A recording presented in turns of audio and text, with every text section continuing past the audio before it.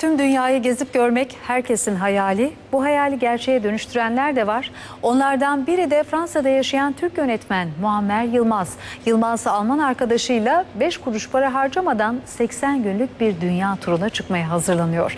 Yılmaz bu özel gezi öncesi NTV'nin sorularını yanıtladı. نقل مراسل الجزيرة في العراق أن 18 من أفراد القوات الأمنية قتلوا في هجوم لتنظيم الدولة وتفجيرات انتحارية في عدة بلدات في غرب الأنبار.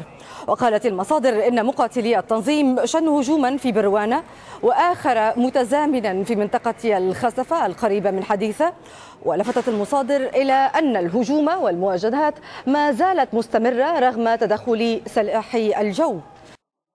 ام بزان بن د پنج ماه د دوان سالا 2012 همان دمدا پروژه بریارا اوروبا هر وها ولاتین عربی او جی لسر بن پیکرنا مافی مروان بو رجاندنا خوینه دوی دمدا باجاری حلب هر وها چند پارزگهن سوریه توشی تو بارانین توند هات و خوینکا زور رجا باراک اوباما در آخرین پیام تبریک سال نو گفت که جشن نوروز امسال کاخ سفید با حضور عده‌ای از ایرانیان آمریکا از جمله چند کارمند ایرانی آمریکایی کاخ سفید برگزار می شود خبرنگار ما بهمن کلباسی که به مناسبت نوروز به واشنگتن پایتخت آمریکا رفته بود با این پنج خانم ایرانی تبار گفتگو کرد.